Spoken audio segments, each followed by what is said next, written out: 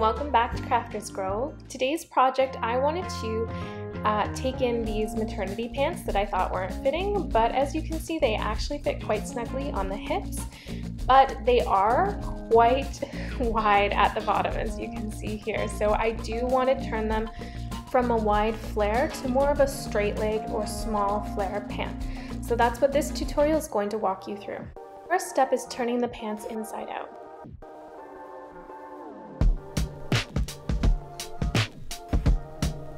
To come up with a plan of the sewing, I do like to look at a similar garment where the flare is what I want to achieve. So here's a, a straight leg or small flared pant.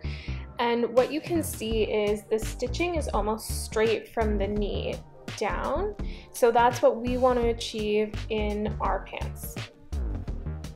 So what you can do is um, either stand or sit on a chair and pin to where you want the pants to be. So I'm starting at the knees as one guide point and pinning with a little bit of room because we do want a little bit of room to grow plus you want a little bit of room when you sit down so the pants aren't too tight and squeezing you as you sit. And then after you create that space, you're going to go down to the ankles to pin another guiding spot. So this isn't the full pin, this is only a guide to then do the pinning when the pants are laid out. So two to three pins might be sufficient if you feel like you need more, that's fine too. Pin as much as you feel you need to help guide you in the overall pinning line. So once you have all your guide pins in place, you want to lay out your pants on a flat surface that's easy to work on. Now we want to create a seam that runs along the original seam and then straight down from the knee. So we're going to have to reposition those guide pins to ensure that the two layers of fabric meet nicely and with no space to ensure the pins are flat and to ensure you are creating a straight line. I find my method for creating a straight line is continuing to adjust the pins until that visual straight line is there. But another way of creating it, you can use a measuring tape or ruler to help ensure your line is straight.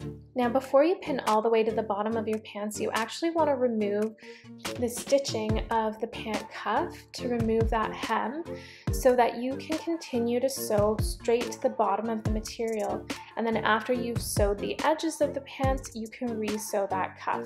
This is also a great time to make any adjustments to the length that you may need to do anyways for your pants.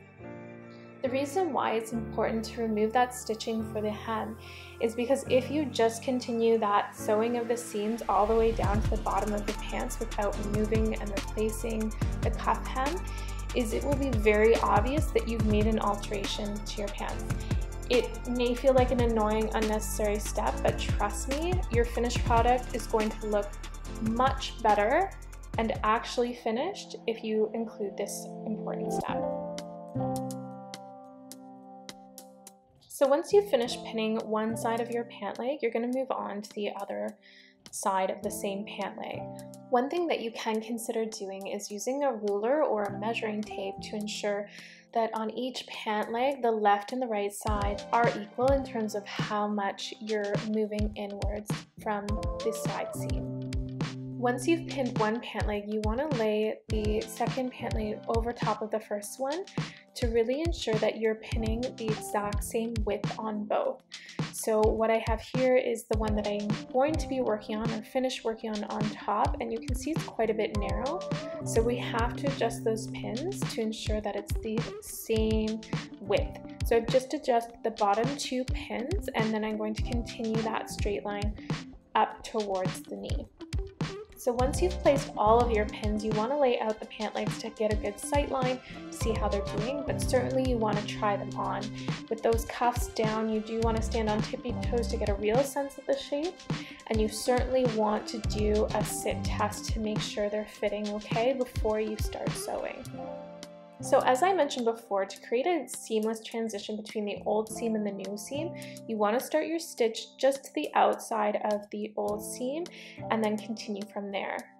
Making sure to do a little bit of a reverse stitch before you start sewing all the way down the pant leg. And then sewing slowly and removing the pins as you go will help keep that guide for you to ensure that not only are you going in the right direction, but you're also ensuring that straight line as you go as well.